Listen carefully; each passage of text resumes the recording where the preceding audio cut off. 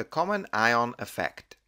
The common ion effect causes precipitation or reduced solubility by the addition of a common ion.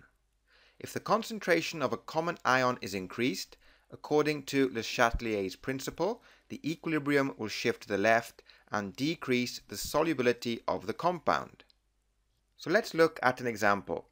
Explain how the addition of hydrogen sulfide decreases the concentration of Pb2 plus ions in a saturated solution.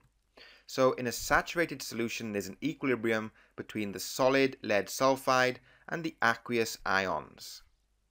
So if we increase the concentration of S2 negative ions, the sulfide ions, and they come from the hydrogen sulfide, then according to Le Chatelier's principle, the equilibrium will shift to the left.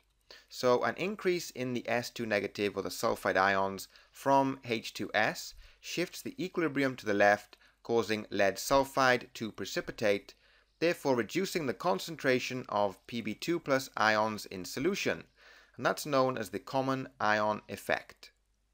Let's try another example. Suggest with an explanation a chemical method by which this amount of nickel dissolved in the water could be reduced even further.